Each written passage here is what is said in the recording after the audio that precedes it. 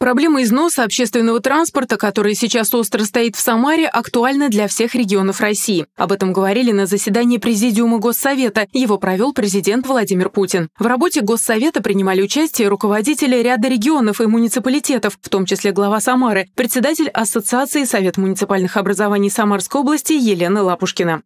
В этом году, благодаря поддержке правительства Российской Федерации, специальному казначейскому кредиту Самарская область приобретет 309 новых автобусов, еще 108 автобусов, а также 12 трамваев благодаря федеральному гранту на эффективное региональное управление. Только в Самаре за последний год для города закуплено 63 единицы транспорта. Это 50 автобусов, 12 трамваев и один электробус. Новые автобусы в ближайшее время уже выйдут на маршруты.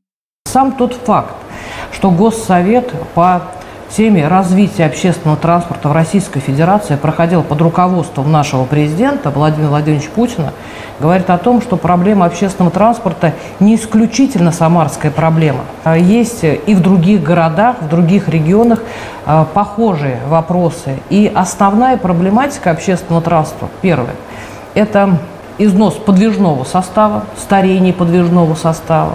Второе – это износ инфраструктуры. И третье – это кадровый вопрос.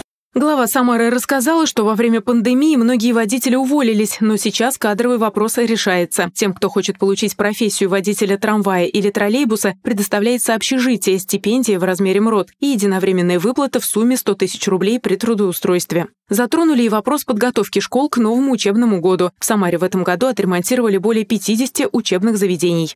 Работают сейчас такие межведомственные комиссии. В этой комиссию входят, безусловно, представители Департамента образования, Министерства образования, представители всех надзорных органов.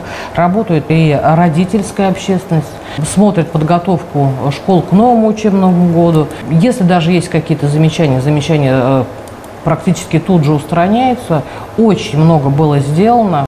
Глава Самары рассказала, как в городе ремонтируют дворы и общественные пространства. Некоторые территории, такие как парк Молодежный и Воронежские озера, благодаря активности жителей второй год подряд выигрывают в голосовании. Их преображение продолжается. Что касается участия дворов в программе формирования комфортной городской среды, изменить двор к лучшему легко, достаточно собрать активную группу жителей. Главным политическим событием сентября в Самарской области станут выборы. Жители региона будут выбирать губернатора. Выборы продлятся три дня – 8, 9 и 10 10 сентября. От активности жителей региона зависит, как он будет развиваться в ближайшие пять лет. 10 сентября в Самаре пройдет День города. Празднования развернутся во всех дворах. На площади Куйбышева выступит группа «Чайф». Также гостей праздника ждет салют. Виктория Шарая. События.